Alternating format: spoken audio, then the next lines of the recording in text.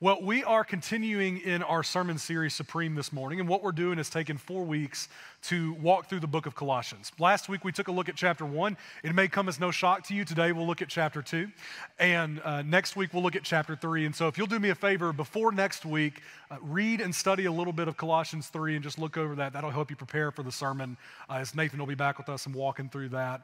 Um, but Colossians, if you're not familiar with it, it is a letter written by the Apostle Paul. Paul wrote it in, we think, about 62 AD. He wrote it from prison to the church in Colossae. Now, unlike most churches that Paul wrote to, uh, he had never actually visited the city of Colossians. Paul uh, not only did not plant the church, but it's believed that he had never even been there. And so we know, though, because of this letter, that Paul had heard about the Colossian church and knew some of the struggles they were facing, issues they were dealing with.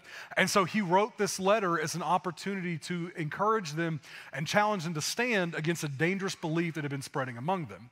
Now, this belief was called Gnosticism. And we talked a little bit about it last week, but Gnosticism was the belief that anything of this world was evil. And so it questioned the divinity of Jesus and taught that salvation came through good works and knowledge.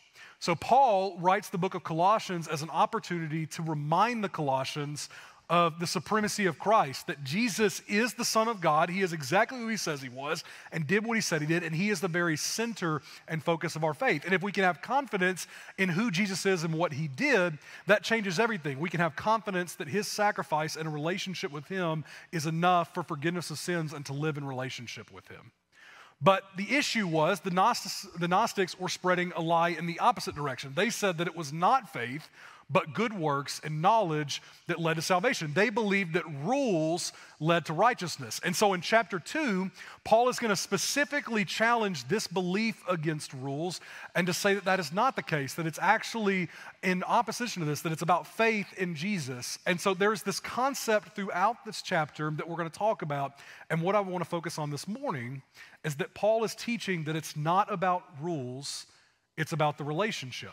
And so Paul believed if we could understand who Jesus was and understand our relationship with him and how we are to respond to them, then that would change everything and it would lead us to know what it means to really have faith in Jesus and to live out our faith as followers of Christ. And so I want us to dive into chapter two this morning and talk about this idea of rules versus relationship and how that changes things for us. So let's start by looking at verses one through five this morning. Paul says, I want you to know how hard I'm contending for you and for those at Laodicea and for all who have not met me personally.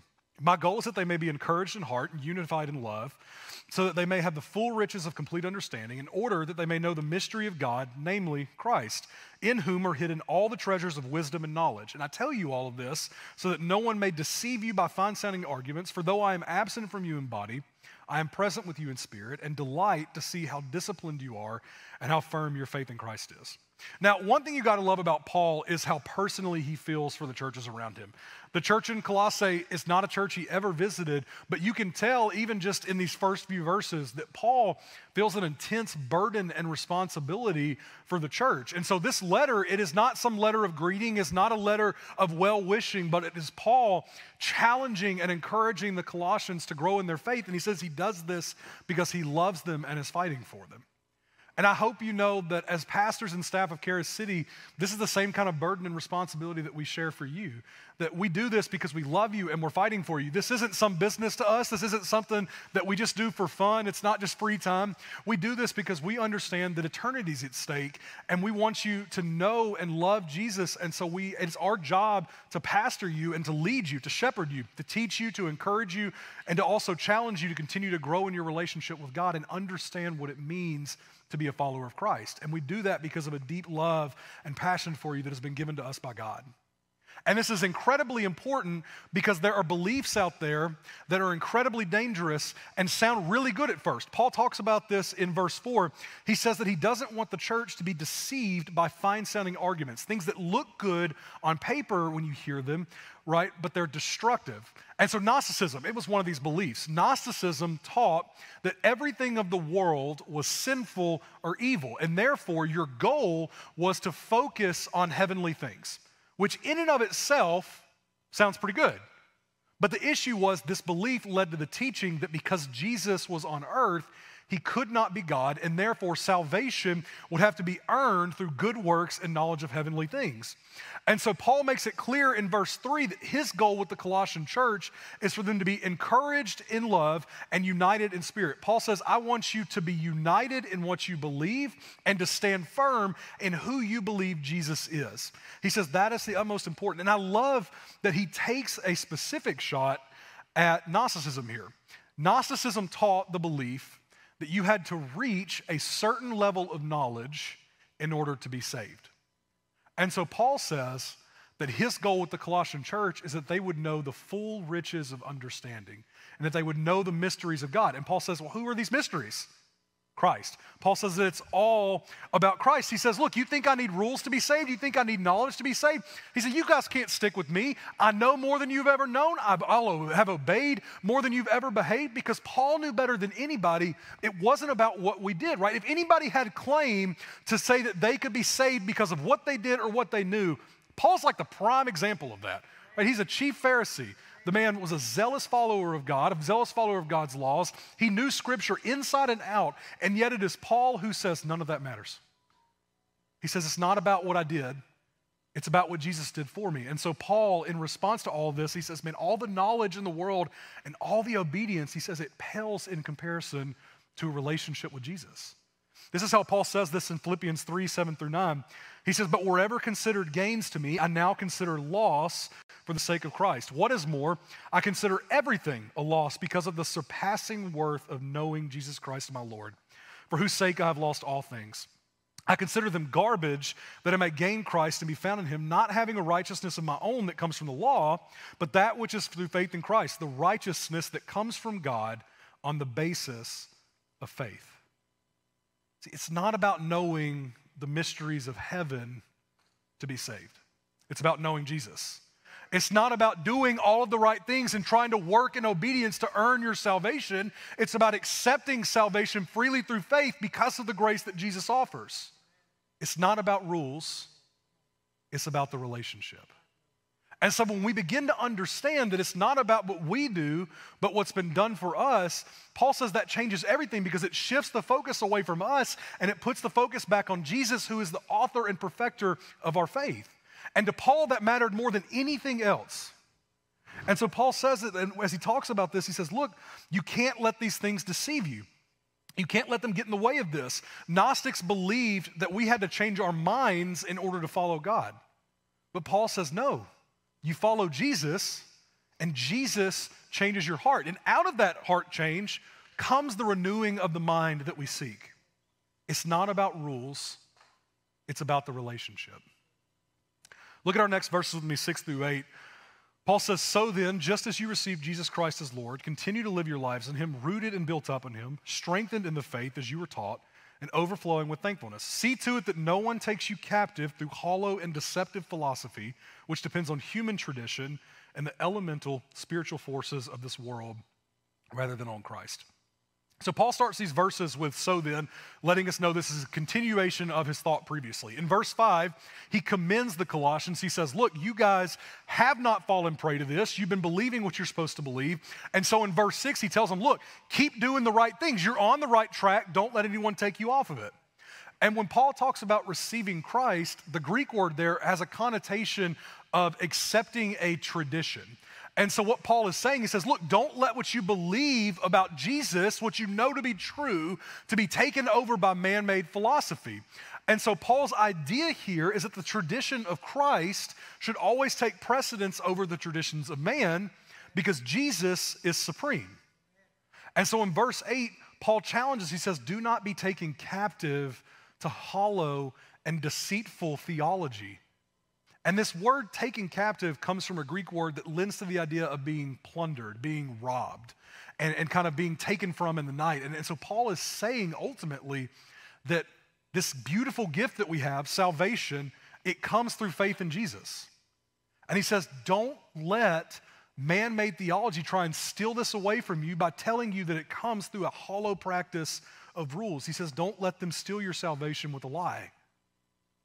Now, the reason he says this is there are all sorts of beliefs that are kind of throughout the Bible or throughout the church, and, and they're spread in different ways. And the issue with them is, is they sound good to us at first, right? They seem like they might be good, they might be beneficial to the believer, but Paul says you have to be careful because some of these things sound really good, but they're actually very destructive. Now, one of these things that we see this in the church today is something called legalism.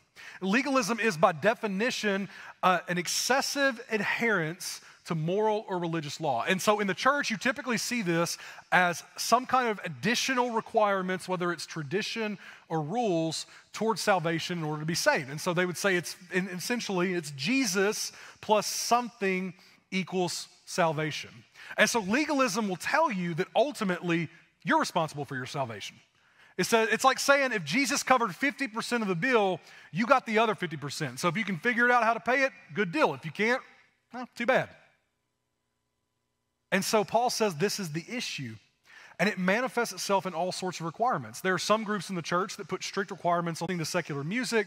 Some people will put requirements on traditions, like greeting with the holy kiss. Amen, that that's not true. I would not want to greet any of you with the holy kiss. I love y'all. But they'll say things like holy kiss, communion, things like these are requirements to be saved. Some groups will take it a step further than that and say that there is a level of obedience to God's law that you must hit in order to be saved. And some would even put requirements on the moment of salvation and say that in order to be saved, you have to receive the Holy Spirit and speak in tongues in that moment. Some would say that you have to be saved on the moment of baptism, that it's baptism that offers forgiveness of sins. And, and there's many more examples that we could give here, but these kinds of beliefs and teachings are what Paul warned us against.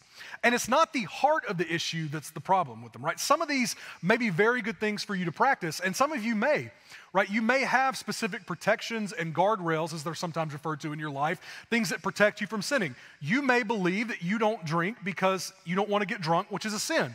There's nothing wrong with that. But if you take your personal convictions and then look down on other people when they don't do what you do, survey says, might be a legalist. And so Paul says the issue is when these things move beyond personal convictions to requirements for salvation, he says we've gotten it wrong because it puts the focus on us and not on Jesus. And he says that's the issue with this, that they emphasize rules over relationship. They make salvation about what we do instead of what Jesus did for us. And here's the deal any gospel that makes it about us is a false gospel. And this is why Paul says not to be taken captive by these things, right? He says, look, don't let them steal away what God has given you. Your, your salvation, it comes through faith. Don't fall prey to the lie that it comes from these other things. So the reality is, no matter how good it sounds, a gospel that preaches Jesus plus blank is a false gospel. The gospel is founded entirely upon the sacrifice and resurrection of Jesus.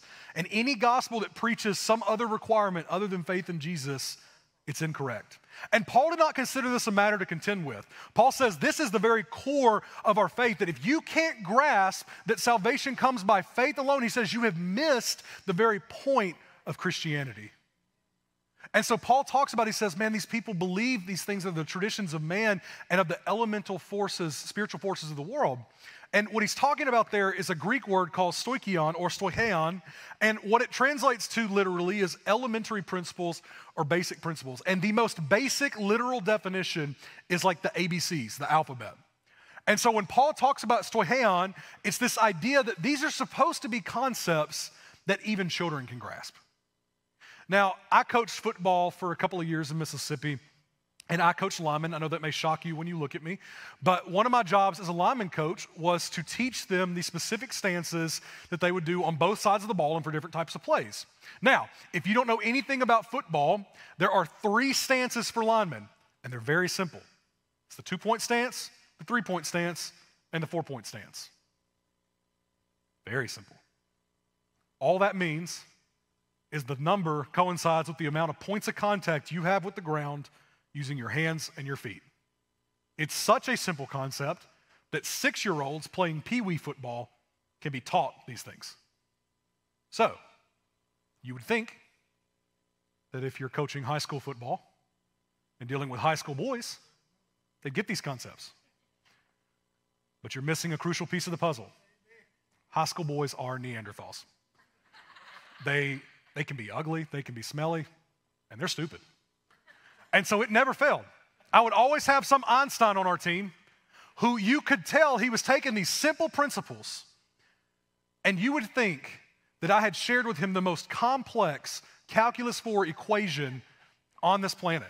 I mean, you could see it, the gears in his head just working overtime, grinding away, trying to figure out what I could possibly mean by a three point stance. And I'm sitting here dumbfounded and going, How do you not get this? I've got children that know what I'm saying. You can't figure out you put your hand on the ground? So easy a kid can figure it out. Paul says it's the same thing that was happening in Colossae. That they could not grasp the ABCs, the very simple, elementary principles of Christianity, was getting away from them. They were relying on the elementary principles of the world. They reverted back to what they knew. See, throughout Judaism and non Jewish religions, there was this principle that kind of overlapped over everything, and it was cause and effect, right? It was if you did good things, you received good things. If you did bad things, you received bad things, and so on and so forth.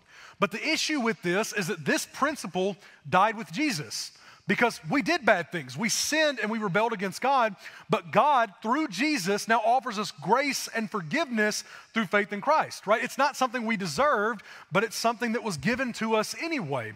And so groups like the Gnostics, they couldn't get past this concept.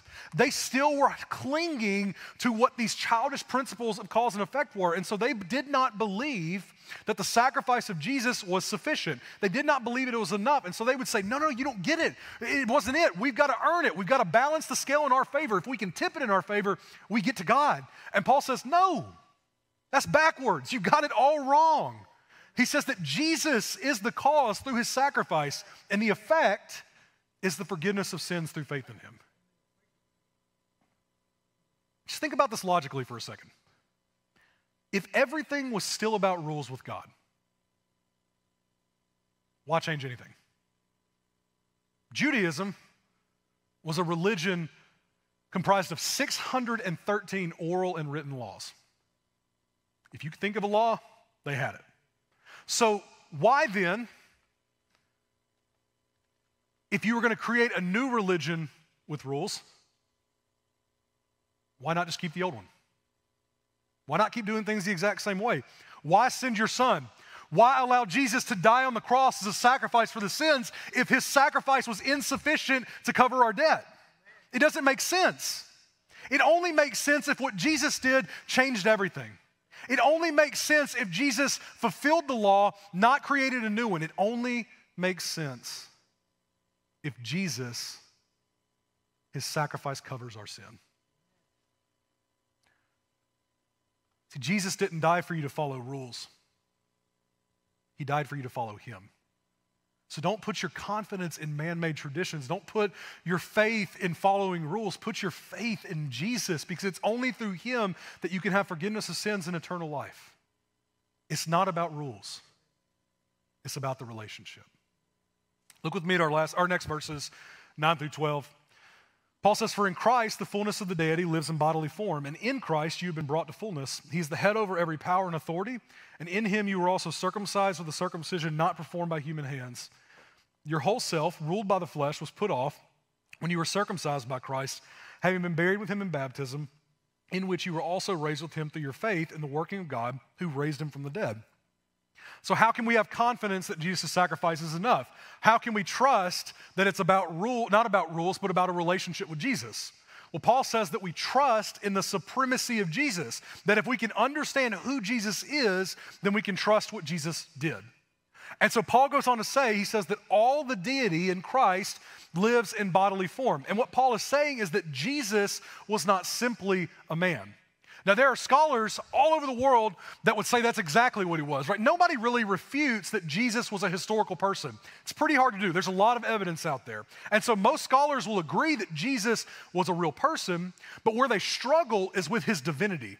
And so most people would love to claim, and they do claim, they'll say Jesus, he was a good teacher, he was a good man. Even religions will say he was a good prophet, but they do not want to say that he was God. And so Gnosticism made the same exact argument. They said, look, because everything in the world is evil, that means that Jesus has to be evil and therefore he can't be God. And so Paul makes it very clear. He says he is not just some man, he is God in the flesh, that he is fully man and fully God. All of the fullness of deity lives in Jesus.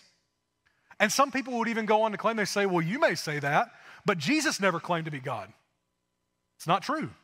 Look what Jesus said in John 8, 58 through 59. He says, Very truly I tell you, before Abraham was born, I am. And at this, they picked up stones to throw and to stone him, but Jesus hid himself, slipping away from the temple grounds. They weren't trying to stone Jesus because he was a good prophet or because he was a disturber of the peace. They're trying to stone Jesus because he claimed his divinity. He says, You want to know who God is? It's me. He says, Before Abraham was, I am. See, the reality is, Jesus isn't some man to be admired, he's the God who is to be worshiped.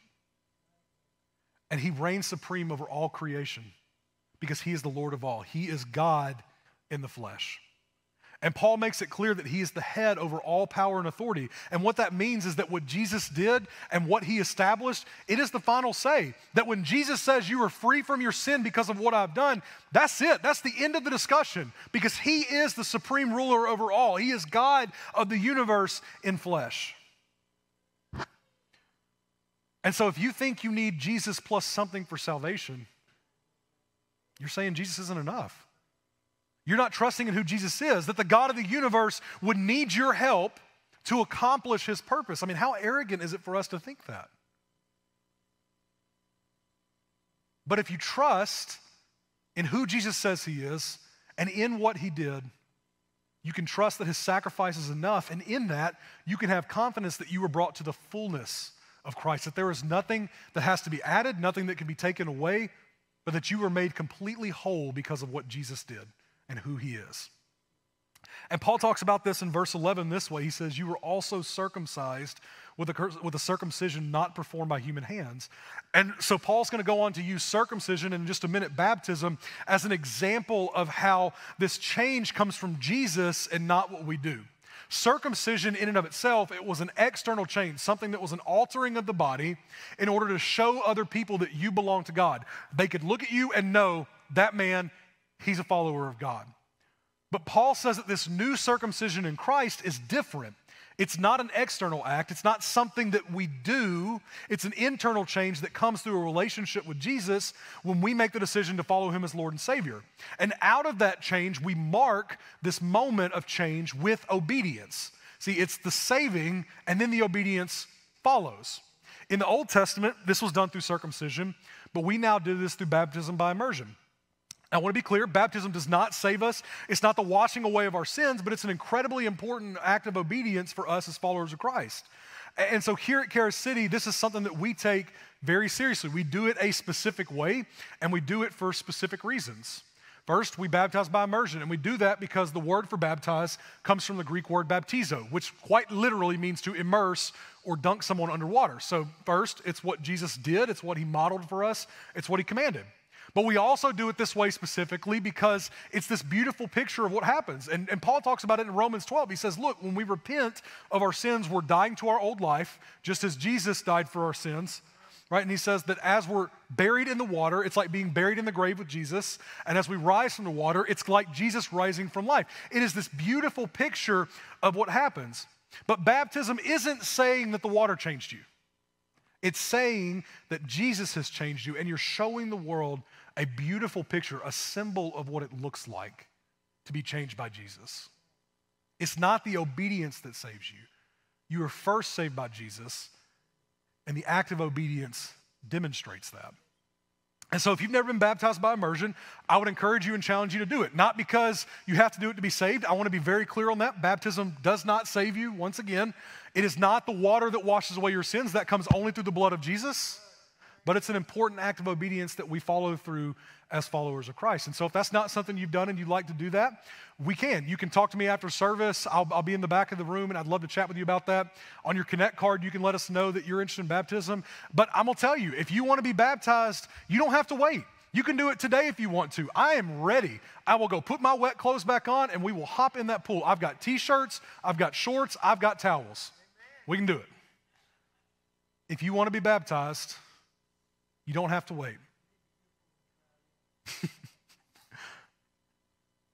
it's not our obedience that saves us. Jesus saves us, and the obedience follows. And so Paul makes it clear over and over again that we're not saved by what we do, but what's been done for us. And let's be honest, that's a good thing. Because we don't make it. We don't hit the mark. We miss it. Romans 3:23 tells us we fall short of the glory of God. But we are saved because Jesus paid the price for us. Look at what Paul says in verses 13 through 15. He says, When you were dead in your sins and in the uncircumcision of your flesh, God made you alive with Christ. He forgave us all our sins, having canceled the charge of our legal indebtedness, which stood against us and condemned us. He has taken it away, nailing it to the cross, and having disarmed the powers and authorities, he made a public spectacle of them, triumphing over them by the cross. Everything that we could not accomplish, Jesus did for us.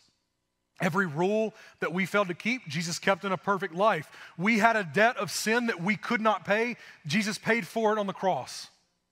And in his resurrection, he now offers us eternal life. And in his resurrection, he demonstrated that he is supreme over all, that he holds authority, that nothing could hold him down. If the grave could not hold Jesus back, nothing's stopping Jesus. And because of that, we have confidence that Christ, in his supremacy, has set us free. He has set us free from sin, he has set us free from the law, we are free in Christ. And as we experience that change in Jesus, we then get to live in obedience, not because we have to, but because we get to in response of what Jesus did for us. It's not about the rules, it's about the relationship. Look at our last verses with me in verses 16 through 17. Paul says, Therefore, do not let anyone judge you by what you eat or drink, or with regard to a religious festival, a new moon celebration, or a Sabbath day. These are a shadow of the things that were to come. The reality, however, is found in Christ. You got to love when Paul uses the word therefore, because you know it's there for a reason. And Paul is kind of wrapping up here. He says, Look, because of this great victory we have, because we've been set free in Christ, he says, Man, do not let anybody judge you back into legalism. Do not believe the lie that there's anything that you have to do to earn God's forgiveness, to earn God's love and his favor. And some of you, you're sitting here stuck in the guilt of what you did in the past. Some of you are, are still stuck in the fear of what you think you have to do later in order to be saved and forgiven, to be loved by God. You're stuck in the rules. You still feel like it's something that you have to do in order to earn this. But the reality is, it was taken care of.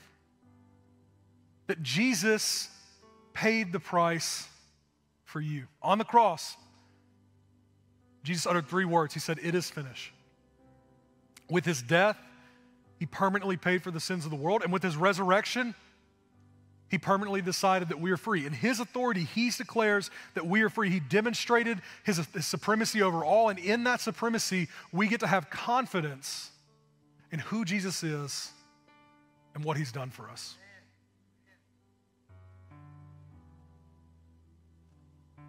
You can rest in the promise that Jesus is enough.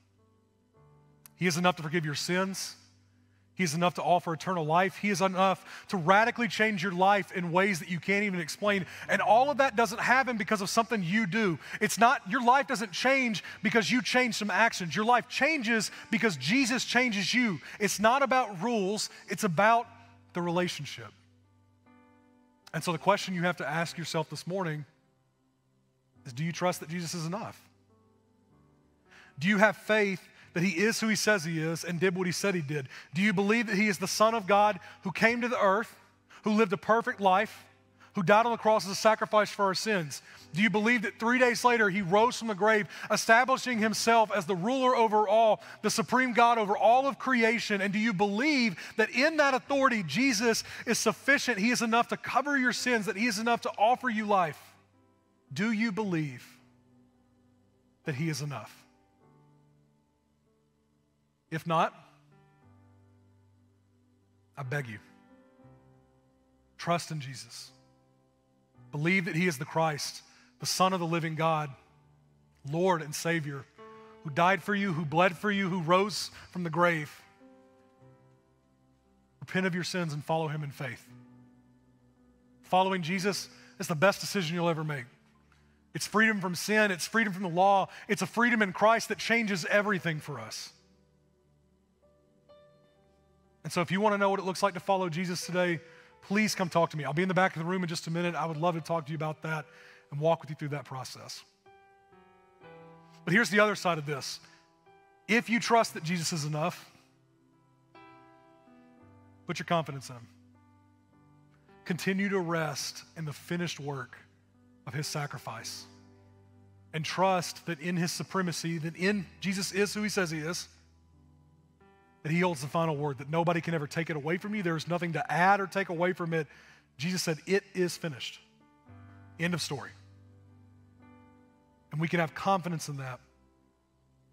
Confidence that we have a relationship with Jesus that leads to eternal life and forgiveness of sins. I want to cl- uh, close this morning with a quote from Rory Shiner, who's a pastor and theologian. He's a chair of the Gospel Coalition in Australia. And he said this He said, In the death on the cross, Jesus becomes the place of refuge, the place in the world where the full wrath of God has already been spent. Therefore, to stand in Christ is to stand in a place where the wrath of God will never be felt because it has already been there. Jesus took the place for us. In his sacrifice, he paid for our sins, something that we couldn't do. We failed to earn it, we failed to measure up to what God did for us. But this impossible act of reconciliation took place when Jesus died on the cross and he rose from the grave three days later. And it's confidence in who Jesus is and what he did that gives us confidence in what faith leads us to. And it's not about doing the right things, it's not about following rules and following the laws of man, but it's about a relationship with Jesus. And that relationship changes everything. And so, my challenge to you this morning is don't get caught up in the rules. Don't chase the rules, chase the relationship. Put your faith in Jesus because he changes everything. It's not about rules, it's about the relationship. Let's pray.